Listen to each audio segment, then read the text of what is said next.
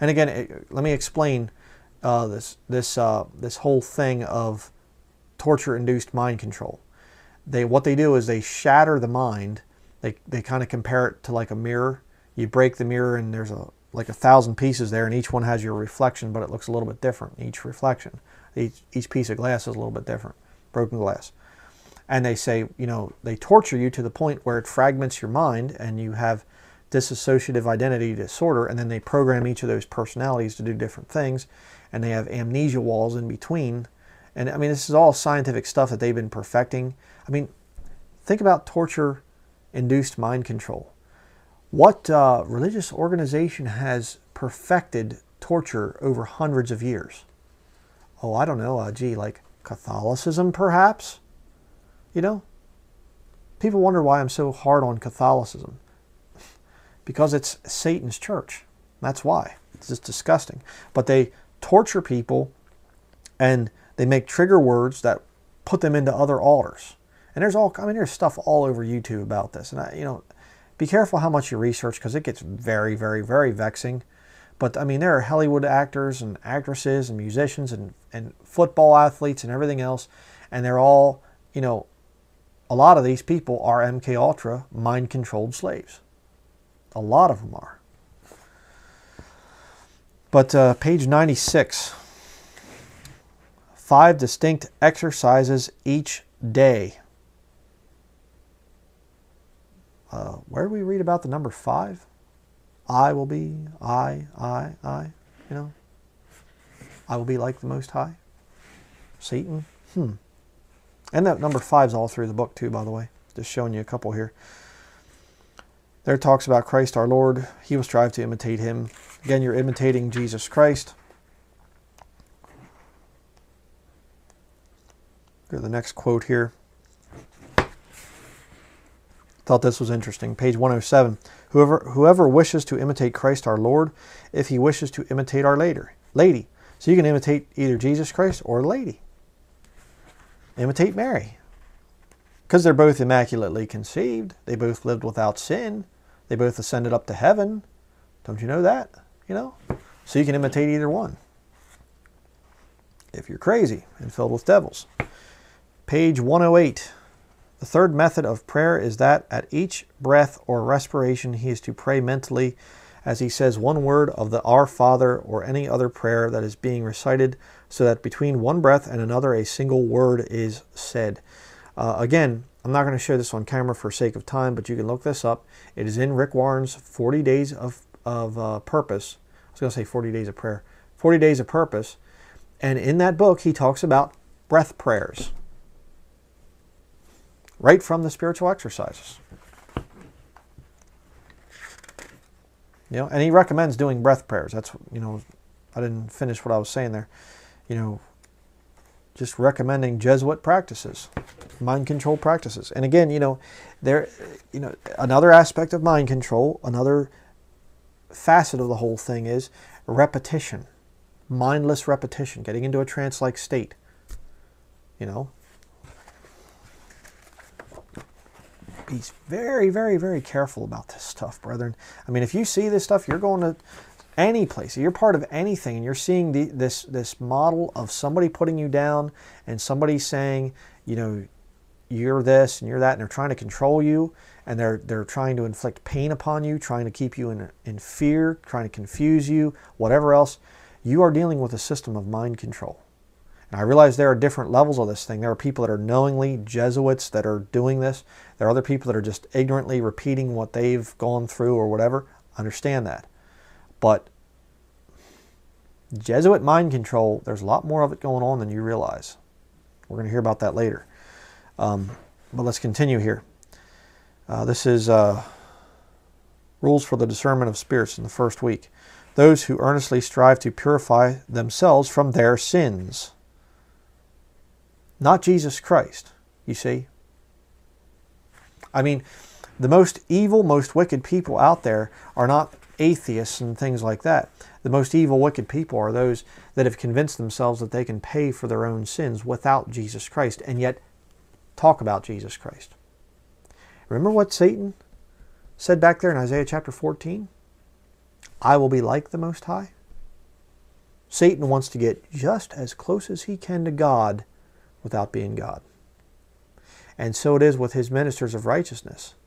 Satan's ministers, that's how they appear as ministers of righteousness. They want to get just as close as they can to being Bible believing Christians. And I believe right now, King James only people that are actually Jesuit Satanists been through some kind of a level of mind control, so they get that does tie back tie them back to Jesuitry. But truly, ministers of Satan, I believe they're they're coming out of the woodwork. I've talked about them. Martin Richling, I believe, is one. I believe Steven Anderson is one. I believe a lot of these different people. There's a um, Church of the Wells down in Texas. These young guys are street preachers and they're doing all this weird cultic stuff and everything. And they, they got uh, they talk about uh, the sin of presumption. You know, you'll pick up little little aspects of Catholic doctrine mixed in with what looks like Bible believing doctrine, Bible believing practices. And this Church of the Wells, by the way, is a house church. Hmm. And they have all these weird cultic beliefs. Look down here, I thought this was interesting, kind of explaining the, the Jezebel spirit that you'll see with a lot of Roman Catholic women.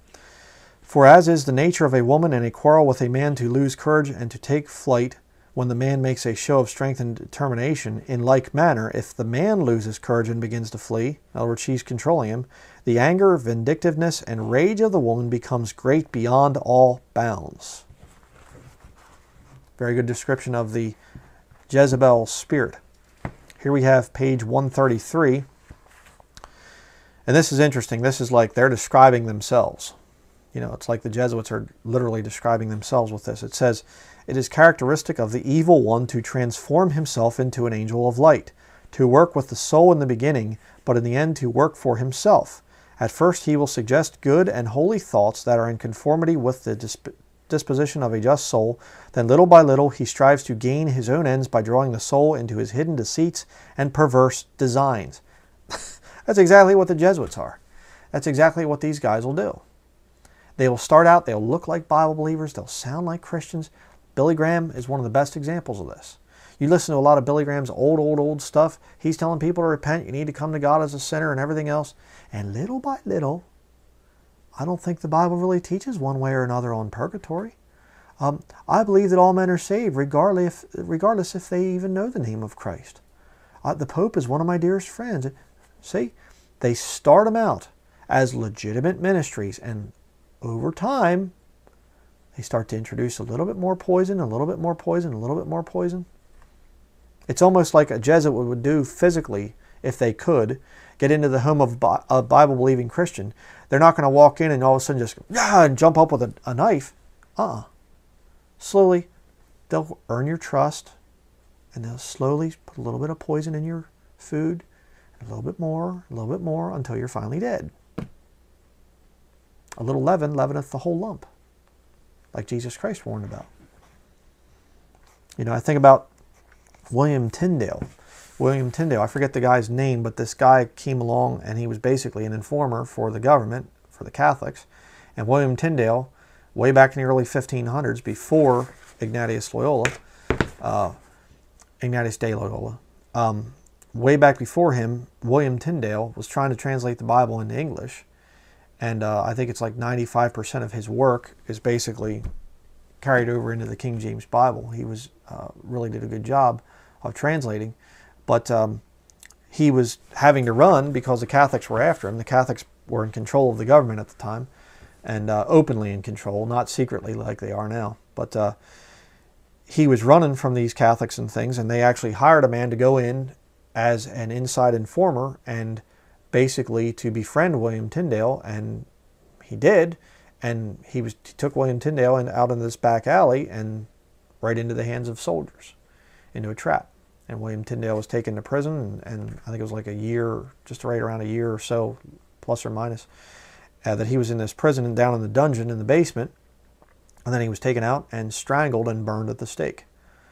Uh, so, interesting because I mean the, the Catholics have been doing this. In other words, it wasn't just Loyola that founded the whole thing. They've been doing it, you know, for a long, long time. But Loyola, uh, Ignatius, uh, actually perfected it. But let's continue here. Page 136, just about done with this book here. Decrees and orders that the furnish, furniture of a bishop be plain and poor. The same consideration applies to all states of life. And again, we're going to see that coming up in my studies on the Amish, which we're going to be coming out with here in the next couple of weeks.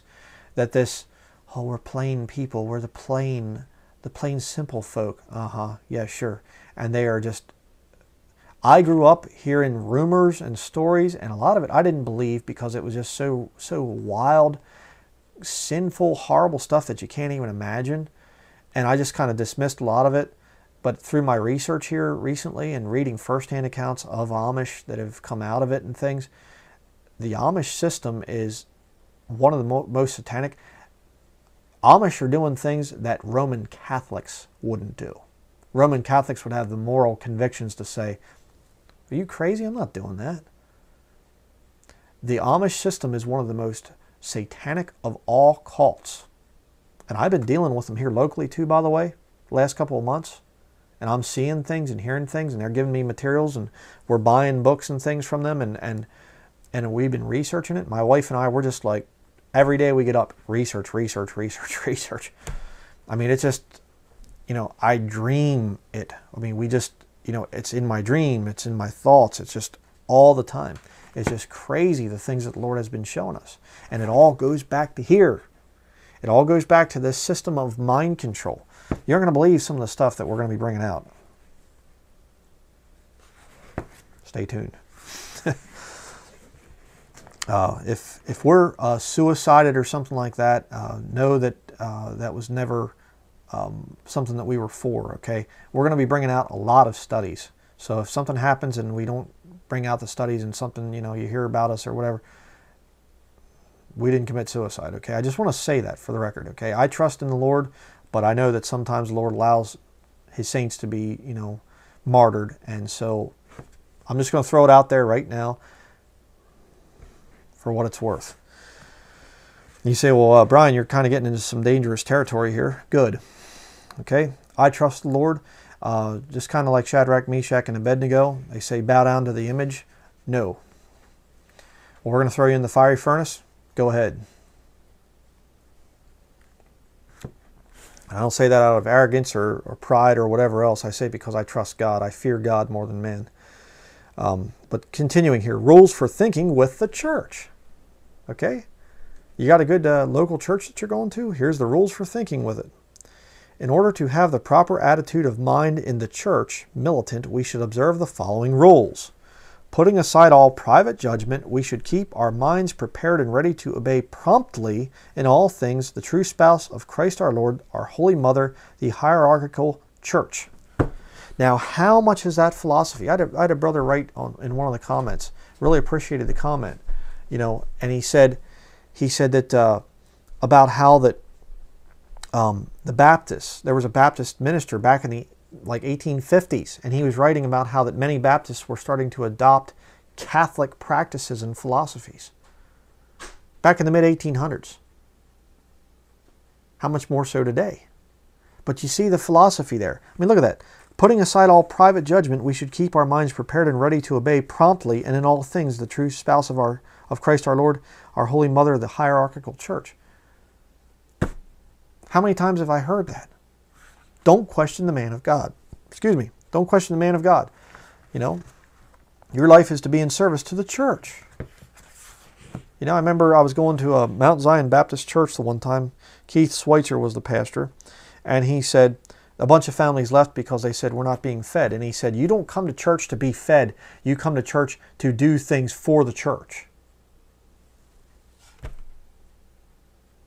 Okay? So when the Bible says, Feed the flock of God which is among you, taking the oversight thereof, not by constraint but willingly, not for filthy lucre but of a ready mind, I guess that was just idle talk or something. Page 140. To praise the adornments and buildings of churches, as well as sacred images, and to venerate them according to what they represent. Hey, stop running in the house of God. Isn't it good to be in the house of God? Oh, isn't it wonderful that we built this such a wonderful church to the glory of God? And then you study the fact that a lot of the big Babel buildings have been built by masons. like I've talked about in my uh, Great Falling Away study, and Masonic uh, adornments like obelisks on top that they call steeples. And you know, we've all been mind controlled through this stuff, brethren. You know, I'm not pointing the finger and putting anybody down here. I'm saying I went through this stuff myself. Let's continue. Number nine. Finally, to praise all the precepts of the church, holding ourselves ready at all times to find reasons for their defense and never offending against them. All the rules, in other words, of the church. You should never offend against them. How many of you have heard that one? Down here, as a result, the people would be angry with their superiors, whether temporal or spiritual. Again, that's a key thing to understand about Catholicism. They believe that they have two swords the temporal and the spiritual. In other words, a church state, a government and church all together as one. And that's what the coming New World Order, the one world government that is rapidly approaching, that's what they're going to have. So, in matters of execution, it's the church that decides. Burn the heretic, in other words. Cut the head of the heretic off. You see? Number 11, to praise both positive and scholastic theology. Is that going on today? Again, remember, 500 year old book here. And you're to praise both positive and scholastic theology. Oh, you have a PhD, you have a THD, you have a THM, you have an honorary doctorate, or whatever. We're so honored to have Dr. So and so here tonight. Let's continue. To define and explain for our times the things necessary for eternal salvation. There's only one thing necessary for eternal salvation, and that is you putting your faith in the finished work of Jesus Christ on the cross. Understand that you're a sinner. Understand why you are coming for salvation. Okay? Then you put your faith in Jesus Christ. One thing. All right, sorry about that. Had a little bit of an interruption, but we're back now. I'm going to show you the next one here, number 13. If we wish to be sure that we are right in all things, we should always be ready to accept this principle.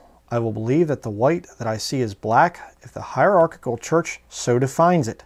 For I believe that between the bridegroom, Christ our Lord, and the bride, his church, there is but one Spirit, which governs and directs us for the salvation of our souls, for the same Spirit and Lord who gave us the Ten Commandments, guides and governs our Holy Mother Church. Now, if you've seen the uh, study I did on Jack Hyles, the third part there, where uh, Russell Anderson, I think it's the third part, Russell Anderson is like there at his birthday party, uh, Jack Hyles' birthday party, and he says, you know, when I was in school, I learned that the alphabet, you know, it's it's A comes before H, so it should be Anderson Hyles College, you know, ha ha ha, they're joking. And one of the students stands up and he says, if Brother Hyles told us that H comes before A, we would believe it. Right there it is. And how many cults out there, whatever denomination, whatever name, it's that exact thing. This is not the authority. It's the hierarchical church, the hierarchy, the leadership. You know what you're dealing with? You are dealing with Jesuit mind control. That's what you're dealing with. When you have these guys, these men of God that you don't dare question, that turn you away from Scripture and turn you to themselves as the final authority. That's exactly what they are. They're using mind control tactics. But let's continue here, page 141. Thought this was interesting. No one can be saved unless it is it be predestinated or predestined. And um, my wife was looking at this the one time she wrote Calvinism, you know? Sounds kind of like Calvinism. As a result, they become apathetic and neglect the works that are conducive to their salvation. You know, talking about all this stuff in here, but interesting here, works salvation again. But interesting that they would say about being predestined for salvation. Makes you kind of wonder about John Calvin, doesn't it? Number 16. In like manner, and of course I understand you know, John Calvin, let me just say this John Calvin was before, you know, Ignatius de Loyola, so don't write that in the comments. John Calvin came before, blah, blah, yeah. So did Martin Luther. They were both basically papist in their philosophy. But uh, number 16, in like manner, we must be careful lest by speaking too much and with too great emphasis on faith, we give occasion to the people to become indolent and lazy in the performance of good works. Hmm. Interesting because you had uh, Andersnake, Stephen Andersnake, and he came out and he was like, you know, you need to get your lazy butt in church. You know, that's what the house church movement's all about, that people are too lazy to come to church. Interesting. Hmm. No connection, I'm sure. You know. So that's going to be it for that book there, the Spiritual Exercises book. Uh, just, just insane, this whole system of mind control. But um, I'm going to take a break here, and when we come back, I'm going to have a special guest here, and uh, we're going to hear about firsthand experience of actually being right on the brink of going into the Jesuit mind control system. So we will have that when we return. All right, well, we are joined here by my wife, uh, Sister Catherine. Many of you know her as Sister Catherine. And uh, if you haven't seen her testimony, you know, it's been a long time since she's been on camera. She's not uh, the camera type like I am. She's our, our my silent uh, research partner. But um, my wife, if you haven't heard her testimony, was actually in a lot of the um, military industrial complex type of, of situations. And and uh, she was in a lot of this uh, well I'll let you, I'll let her tell it. But um, who was the there was a professor that you knew that was a Jesuit. Why don't you tell everybody about that?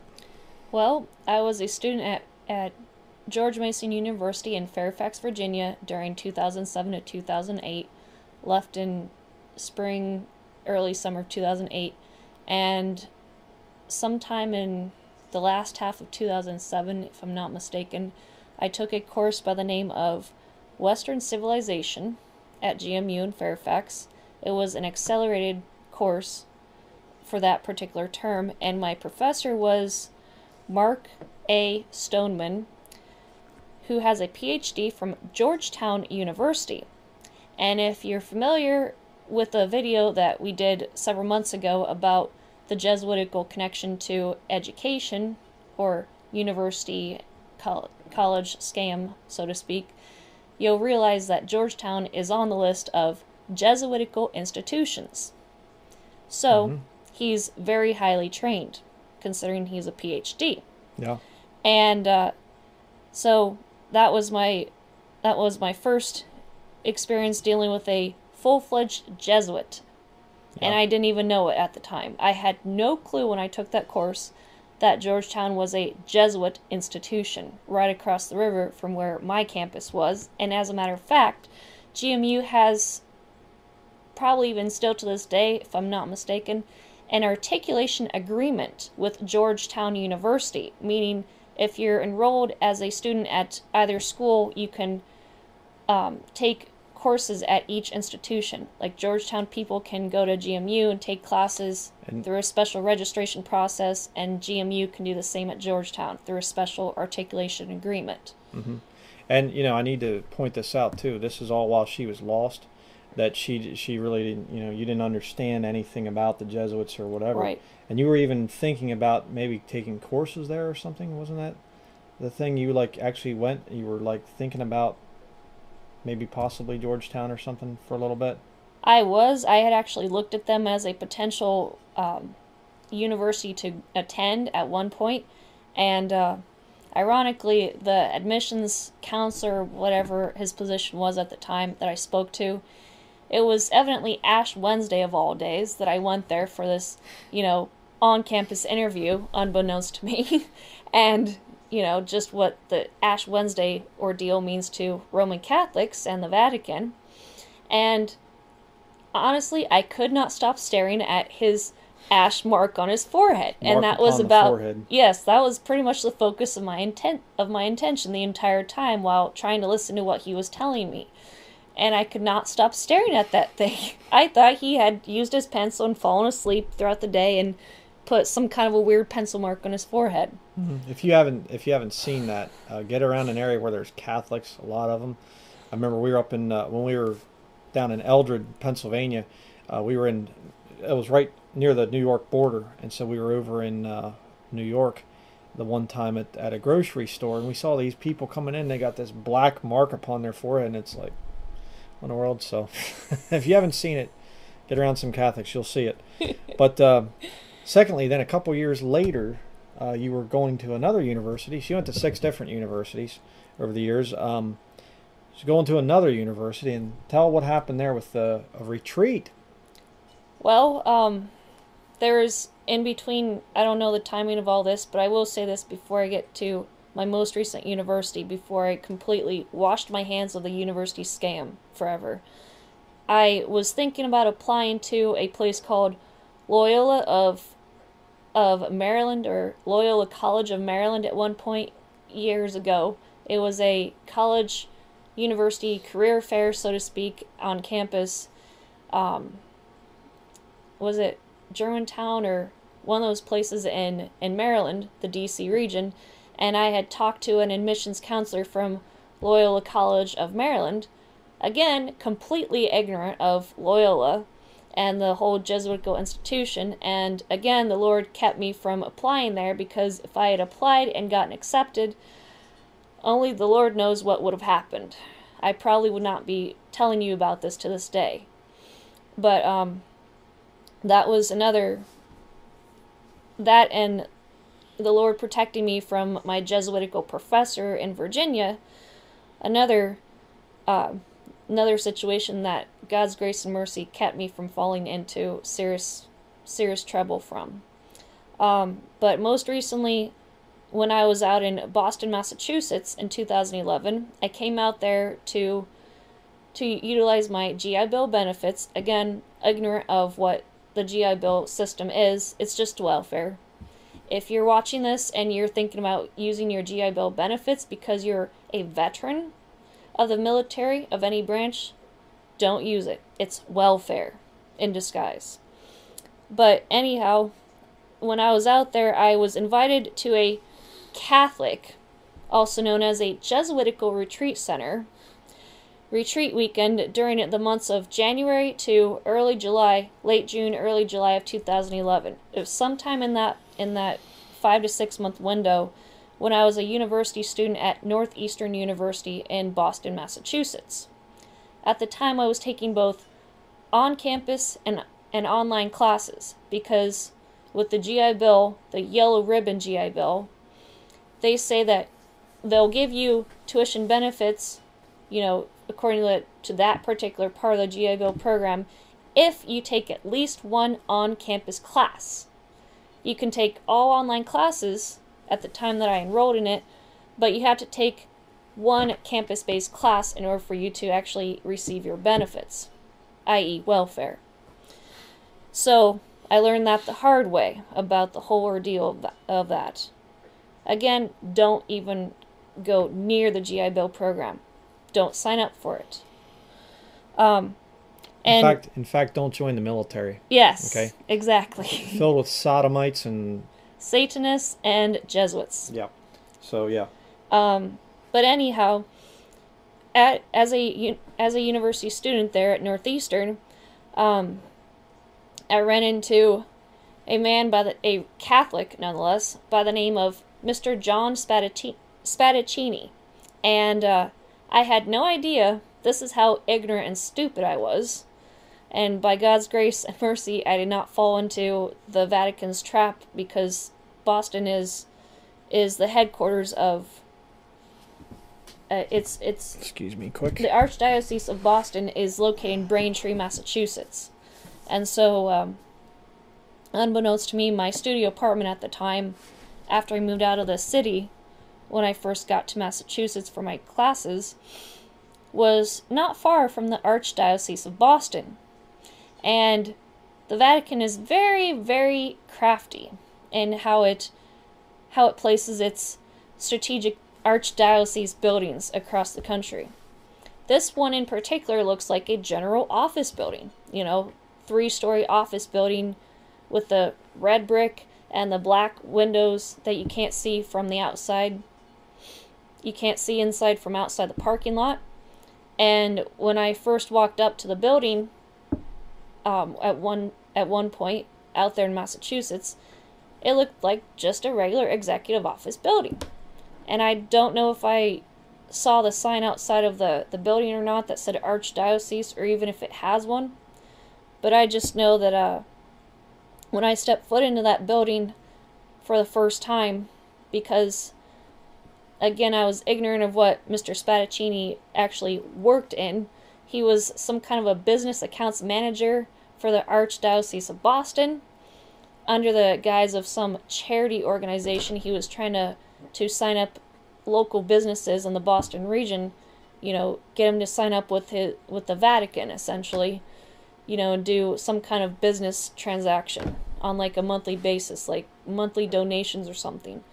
And um and so Mr. Spadaccini invited me to this weekend retreat, so to speak. And I and I said to him at the time, I said, uh, number one, I can't afford it, you know, and that was true because of being under the GI Bill welfare program. I couldn't afford it. And number two, I had academic obligations.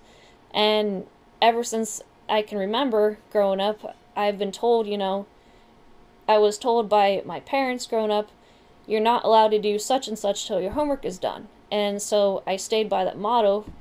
Even out there, I, I told myself, you know, I'm not going to do anything until I can afford it. And if my homework is done, then I'll look into it. And so I told him those two reasons. He tried to talk me into obtaining uh, a financial scholarship on behalf of his archdiocese work uh, employer, and he said, "Well, we can give you a financial scholarship to go." And I said, "No, I'm not going." You know, again, I have homework to do and it's not done, and if I get it done, then I'll think about it. But the Lord, you know, worked it out so that way I was kept busy enough with my homework at that time that I didn't have time to even think about going to this satanic Jesuitic Jesuitical retreat center nonsense. Mm-hmm. And uh, ironically, he never asked me again to go to a retreat. Yeah. But um, when I when I appeared in person at the Archdiocese of Boston building in Braintree, Massachusetts, the second I stepped through the door and the doors shut behind me, I was greeted by a nun or what's called a sister in a blue habit, full habit, you know, the entire um I don't know all the names of the articles of the habit, but you could only see her face, full headgear thing going on and the full you know, modest blue habit gown or whatever. And she was like, Oh, great to see you, gave me a hug. And I just felt really, really uncomfortable there. And I also saw the, um, what is it, the chapel, the uh, adoration chapel thing that they have there. And I saw it from the closed door, just peering into it, and I was creeped out by what I saw.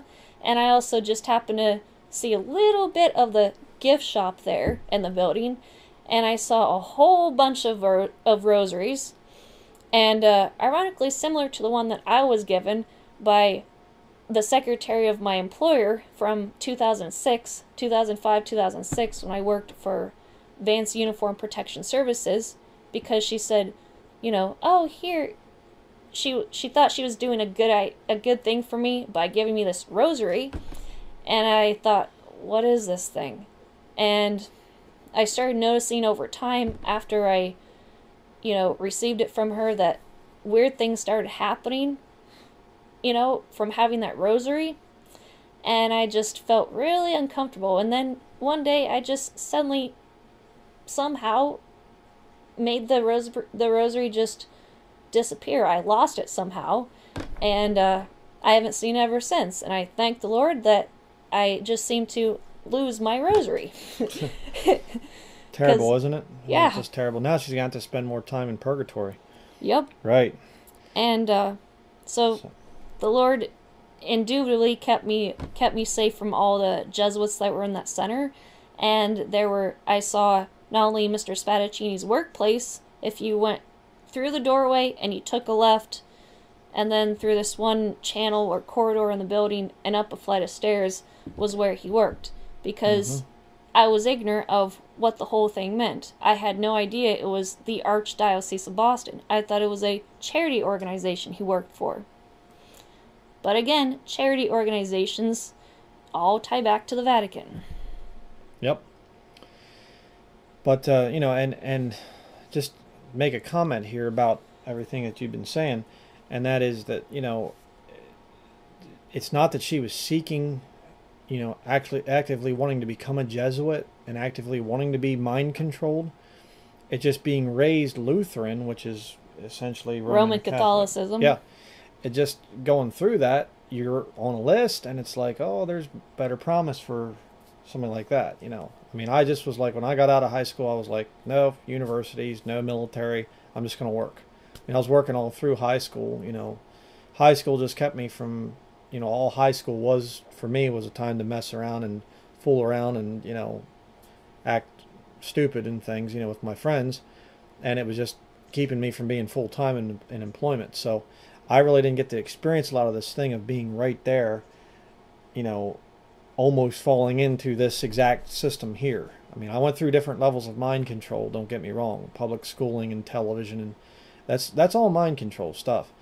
But to actually be right there, almost falling into this, my wife can definitely tell you about that. But another interesting story here. I, I don't have the overhead camera on for this our little interview here, but um, this thing I had showed earlier, Sidney Gottlieb, the head of MK Ultra for the CIA, his uh, obituary says here. This is the L.A. Times, by the way.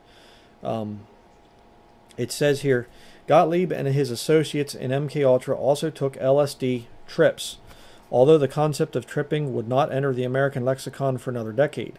They laced coffee with LSD and served it to each other without warning. And this is something else that they would do that the CIA was known for. It's in the congressional hearings that they they would act or Senate hearings, I guess. They would actually go into bars. They would go into different places like that, and they would actually spike people's drinks. You know, you you get up, you go to the bathroom, they'd they'd slip something into your drink, and and you come back and you take a drink, and oh boy, and a certain somebody I won't mention here has another story about while she was uh, in the military, and was it was it right around the time of the spook training? Maybe. Yeah, Certain somebody. I, I don't know. yeah. So, so uh, maybe you could tell us who that certain somebody was. So Well, let me clue you in on a few little details. It was 2004. It was sometime between August and December of 2004. I was in Signals Intelligence Training, Signals Intelligence Analyst Training to be exact, also known as 98 Charlie in Army Military Occupational Specialties or MOSs.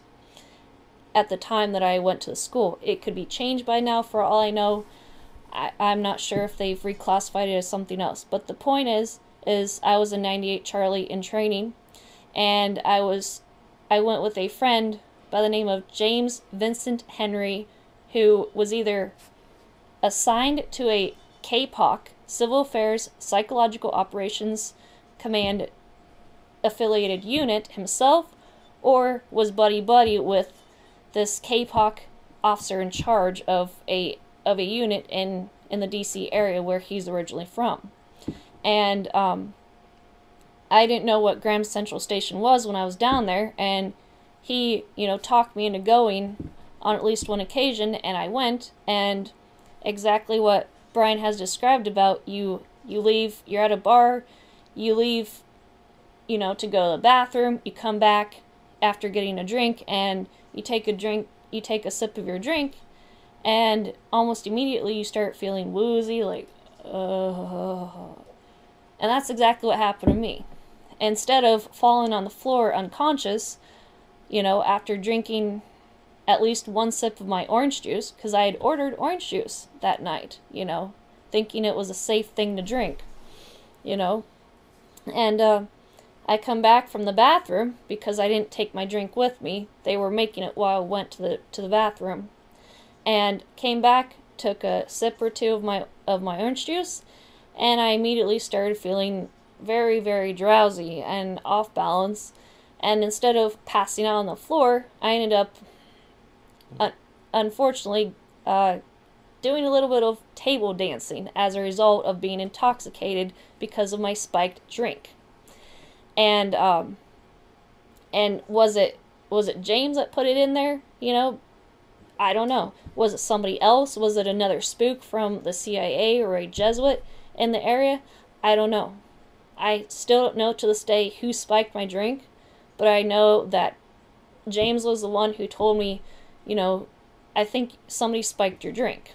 You know, you might want to talk to your unit about this as soon as you can. And I tried to do that, and they and they asked me, well, who did it? I said, I don't know, but I just know my drink was spiked. You know, when I was at Graham Central Station on such and such day, and they and they didn't believe me. And then it led to problems down the road where I was starting to question a lot of people's behavior, and I got thrown into a command directed psychological evaluation for anger management, along with uh, another situation off base, and um, and basically, my unit threw me into this counseling session over anger management issues, and I simply told the shrink, because that's what a psychologist or psychiatrist likes to do. They like to shrink your brain through drugs. That's the whole point of going to, to a shrink for counseling and medication therapy. They like to literally try and sh- shrink your brain to having no conscience left. And, you know, Lord helped me get out of that by simply rationally explaining what had happened. And mm-hmm. I believe that the Lord put this specific person, you know, in the place of the shrink position to say, yeah, you know, any rational person would have reacted the same way that you did. There's nothing wrong. You did nothing wrong here. You're just, you know, this is a logical outcome of what you went through. So he cleared mm-hmm. me to go for full duty again, no restrictions and whatnot. But still to this day, I have no idea who spiked my drink. You know? Yep. And that's why it's dangerous to get into that crowd. That's why, you know, I, I mean, I understand uh, I'm not against military type of things, I'm not against soldiers, but our modern military is not the military that we had even 20, 30 years ago. Uh, things have gotten really bad. And I've known a lot of guys from the military, um, and, you know, I, uh, former um, deacon, assistant pastor, whatever you want to call him, uh, Brother Jesse Dulesky from Bible Believers Fellowship down there in Lancaster County. He was a sergeant in the Marine Corps and he said, absolutely not military, you know, bad news. So if you're in the military and you're watching this and you're thinking, you know, boy, they, they hate the military. No, don't hate the military. It's just the modern military is very wicked. So, but uh, again, uh, just, you know, the being so close to this whole system of mind control. And, you know, it just, it's amazing the things that can happen. But we're going to finish up here with our study in Philippians chapter 3. I want to talk for a minute about what is real salvation. Okay, because we've seen in the Spiritual Exercises book that they present a very warped view of salvation, a, a salvation that basically you're saving yourself. You come to a point where you kill your conscience and you say, I'm not a sinner, I'm not a bad person, I don't deserve, you know, well, you you would say that you're a sinner and that you're a bad person, but you don't put your faith in Jesus Christ. You say, I'm going to follow Christ. I'm going to imitate Christ. I'm going to do what he did so I can save myself. I'm going to show you why that doesn't work. Philippians chapter 3, verses 1 through 9. We'll read here. It says, Finally, my brethren, rejoice in the Lord. To write the same things to you, to me indeed is not grievous, but for you it is safe. Beware of dogs, beware of evil workers, beware of the concision for we are the circumcision, which worship God in the Spirit and, ha- and, and rejoice in Christ Jesus, and have no confidence in the flesh. When you really come to God as a sinner and you're broken, you realize that you are absolutely no good. So for somebody to come to you at that point in time and say, hey, you know what? You can save yourself. You know, a repentant sinner is going to be like, "Are you kidding me? I tried everything in life to try and and save myself and try to be a good person. It doesn't work. I'm rotten. I'm miserable. I'm no good. The only chance I have at getting saved is my faith in Jesus Christ, and that's it. And His precious blood to wash away my sins. I'm not going to save myself. I can, you know, I can I'll pinch myself, and if I do it enough, I'm going to save myself. Oh, uh, give me a break, you know. I'm going to whip myself or put nails around my, you know, hair, shirt, and all this other Catholic, pagan nonsense. Absolutely ridiculous. You're not going to save yourself. It's not going to happen. Let's continue. Verse 4 Though I might also have confidence in the flesh, if any other man thinketh that he hath whereof he might trust in the flesh, I more. Circumcised the eighth day of the stock of Israel, of the tribe of Benjamin, and Hebrew of the Hebrews, as touching the law a Pharisee, concerning zeal persecuting the church, touching the righteousness which is in the law, blameless. But now look what he says. See, he was a Jew. I mean, he was a really devout Jew. You know, a Pharisee, as a matter of fact. Verse 7 But what things were gained to me, those I counted loss for Christ. Yea, doubtless, and I count all things but loss for the excellency of the knowledge of Christ Jesus my Lord, for whom I have suffered the loss of all things. And what do you think about those things that he lost? And do count them but dung, that I may win Christ, and be found in him. You ready? Not having mine own righteousness, which is of the law, but that which is through the faith of Christ, the righteousness which is of God by faith. This nonsense over here, this, I mean, like I said earlier, this thing is actually older than your King James Bible. That's how long this thing's been around. And so many of the systems that we have today, be it through television, Hollywood, you know, uh, the university scam, the military, uh, most organized religions. You know, this is the underlying philosophy. You can be a self righteous person and live a life where you're crucifying yourself and you're doing all kinds of things. You're coming to church every time the doors are open. You're volunteering, you're mowing the yard, you're doing this, you're doing cleaning the toilets, you're doing all this stuff. Why? And you say, well, well, yes, but they have faith, you know, and things like this. You know, and again, I've seen that. I've seen some of these people that are like ultra involved in their Bible buildings, and you talk to them, you know, I mean, I, I remember, just tell you a real quick story here. The One time we were out door to door, and you know, this we met this older guy, and we said, uh, you know, if you were to die today, do you know for sure where you would go? And he said, yes, I do. I'd go to heaven. We said, how do you know? And he said, well, I'll, I'll tell you. He said, years ago I would have said it was because I was a good person and active in my church and, and everything like that. But he said, you know, I've come to realize since then that I was never really saved up until recently here when I realized what a rotten sinner I am. And I put my faith in the blood of Jesus Christ. And the blood of Jesus Christ and his death, burial, and resurrection, that's all that's going to get me into heaven. Not my own works, not my own goodness. That's the right answer saved. Not coming and saying, I understand I'm a sinner. I understand Jesus died for me. I understand the terrors of hell. I understand all this other stuff. But I think I can make it by my own self righteousness. No, I, you can't. No, you can't. I learned that the hard way because I tried very, very hard to do what I was told, you know, honor my parents, my Roman Catholic parents, otherwise called Lutherans, and they all their lives they've they've they tried to drill it into my head, you know, this thing of go to church, go to church. And I tried to be a good person through community service projects, never made me happy.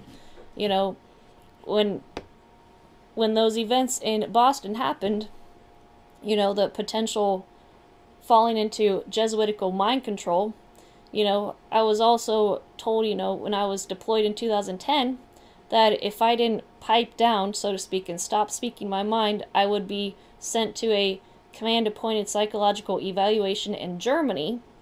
And I believe that the Lord kept me from, from going into that because if I would have gone to Germany for a psychological evaluation at that point, I probably would have been undergoing MK Ultra programming without a doubt if I had allowed myself to do that, and the Lord would have allowed me to do that. And it's only by God's grace and mercy that I'm here today telling you that yes, MK Ultra is real. Brainwashing, mind control programming from the Jesuits, from the Vatican, CIA, military security industrial complex, it's real. Mm-hmm. Hello. By God's grace and mercy, I would not be here today telling you this if the Lord did not take me out of that. In fact, I'd probably be working for the Jesuits if the Lord hadn't saved me out of that whole mm-hmm. ordeal before Yep. saving me in October of 2011. Yeah, and you know that's how close you can get to it. You know, it is it is very very pervasive in our society, and like I said, it isn't just you know you being taken someplace, some military place or whatever, some psychological mental institution or whatever else to be programmed. Um, there are even different levels of programming within our culture, and I mean, you just that's why I read that book, and it's like, I mean, you talk to the average person on the street, when you're witnessing, you will get this thing over and over again. I'm a good person. I'm a good person. I'm a good person. How are they coming up with that? Because this ideology here has been implanted into so many different tentacles of our society where people say, you can save yourself. You know, and it's it's just incredible. But really wanted to do that study to kind of set up our our future series that's going to be coming out here going to be doing an introduction video, so I'm not going to give a whole lot away.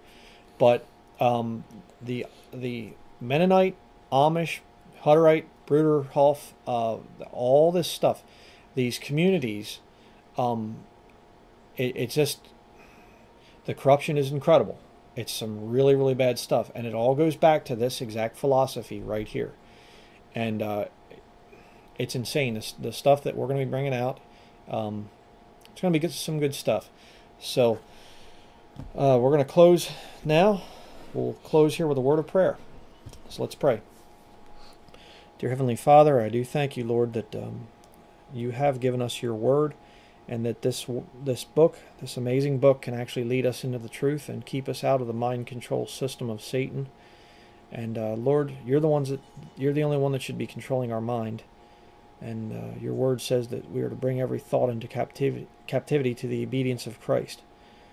And I pray, Lord, for everyone out there that uh, that everybody would just really, well, those that are saved, that they would truly uh, get control of their minds, Lord, and and not fall for all this brainwashing stuff through uh, television and, and just popular media and, and the university scam and the military and, and even the Babel buildings, Lord, are just they're just totally controlled, and it's just getting worse and worse.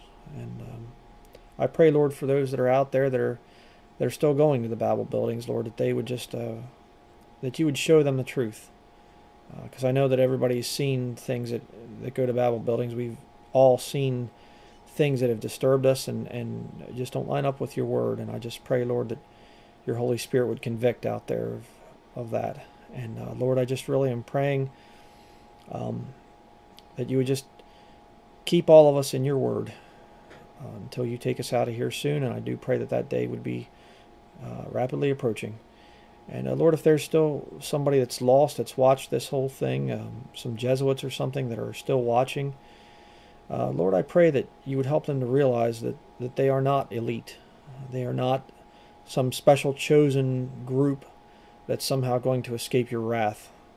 Um, help them to realize that they can't save themselves and that torment that they feel where they're always trying to achieve and always trying to get ahead and uh, always worried about what other people are thinking about them and maybe might do to them. Uh, that fear that they're living in, Lord, they are themselves under mind control and and and uh, they think that they might be controlling other people and and uh, working to bring in quite a powerful new world order. But I hope, I pray, Lord, that you would help them to realize that they're just slaves and that they're going to go to hell with their master Satan, except they repent and get out of it. So I just pray all of these things in the name of our Lord and Savior Jesus Christ. Amen. Amen. So that's going to be it for this study. It was a rather long study, but uh, this, I'll tell you what, it's just like studying this stuff. Um, like I said, we we have been dealing with um, some Amish in the area. Uh, I actually was uh, for a couple months. I was going and visiting with them uh, once a week in their home and talking about the Bible and everything else. And and you know, growing up around the Amish, growing up with Mennonite grandparents, a lot of relatives that were Mennonite, uh, seeing that whole thing, and and I saw a lot that you just kind of put into the back of your mind and just say, I I don't really understand what that was. I don't I don't know what that was. And a lot of that stuff has been coming out as we've been studying, and I mean, reading their writings, the stuff that they they believe, their and studying, just really putting a lot of time into study this whole thing. I mean, it's just been I don't even know a couple months now that we've been studying now, and uh, just really making sure that our that we have a good case, and we do. So Lord's really shown us some neat stuff. We will be coming out with that, uh, Lord willing, within the next couple of weeks. It will be multi-part. Um, you know, I, I, it's always been a challenge for me to be like, okay, you know, do I try to make this my preaching and teaching uh, just quick so you can watch it? It's you know half hour, forty five minute sermons, or do I just really bring it out? And my practice has usually been to really bring it out, uh, just simply because God's called me to be a Bible uh, preacher and teacher. I want to teach subjects. I want to have lots of documentation, lots of things that I can show, and uh, so that's what we're going to be doing.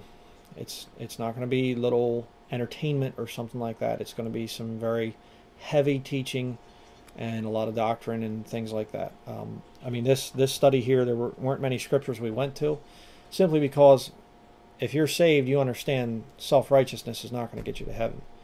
But I needed to show this thing as the foundation for the studies that are coming in the future to understand where this teaching of this self righteousness, this we can imitate Christ, let's bring in the kingdom, where does it come from? It comes purely from the Roman Catholics and specifically from the Jesuits. So, with that said, we do thank you for your prayers and uh, thank you for the donations uh, to all that keep us uh, in ministry. Uh, it's a great responsibility, and we and we really do appreciate that. Like I said, uh, my wife does not appear on camera very often um, because she's usually very very busy putting a lot of the information together. Um, I mean, she just you know she does a lot of research, and um, and I'm very thankful that the Jesuits didn't get a hold of her and, and use her for that side. Me too. I thank the Lord very, very much for saving me out of out of their their grasp so many times. The the GMU professor, the Archdiocese of Boston ordeal, the you know potential applying uh, to Georgetown and Loyola College of Maryland.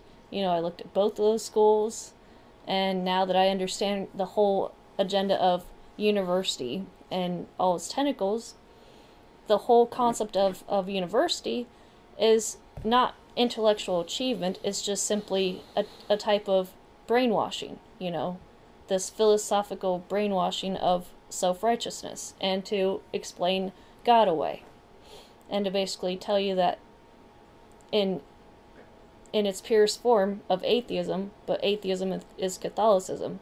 That's the whole agenda behind university schooling is to take God out of the picture. hmm Absolutely. So, I don't think we have anything else to say. Well, I I do want to point out the thing about the communi- the communitarianism, the Another study. That's another a whole other subject. That could be another hour.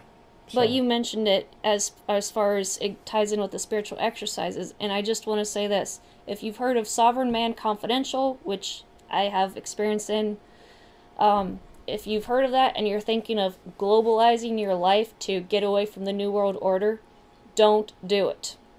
You will not escape the New World Order. There's no reason to be afraid of it if you are truly saved and you've come to God as a repentant, contrite, broken sinner and just stay put because it's everywhere. You cannot escape it. The mm-hmm. best thing you can do is trust in the Lord to protect you from whatever the system is going to try and do to you. right. And on that note, you know, the whole survivalism thing, You know, I, I think a lot of us have gone through some of that, the desire to start stockpiling things to survive hard times and whatever else. Uh, I think the better thing to do is just really get on fire for the Lord and really serve the Lord and let Him take care of you. Amen. And that's not some kind of, oh, well, you're afraid to face. Uh, how is it that you can, you know, people come up with this philosophy that, you know, I say, I'm just going to trust the Lord to take care of us. Oh, well, then you're afraid to face the enemy. Uh, no, because we're actually going out after the spiritual enemies by coming out and attacking the Jesuits and exposing, you know, attacking them spiritually. I'm saying, you know, and and you know, exposing the works of darkness. Uh, that's that's where you're going to get your protection uh, by being on the firing line for the Lord. I mean, give Him a reason to protect you. Amen. You know, don't go and hide someplace because you believe you're going to go through the time of Jacob's trouble or some other thing like that. And this some of the stuff that you know uh, my wife was into early on in her salvation because again she was ignorant. I know a lot of people out there ignorant. You might have watched this study just to hear about the this mind control stuff and MK Ultra and whatever. And you're you know it's it's scary stuff, you know, but don't hide from the devil. Okay, you have a spiritual weapon here that is far more powerful than anything that they have in their arsenal.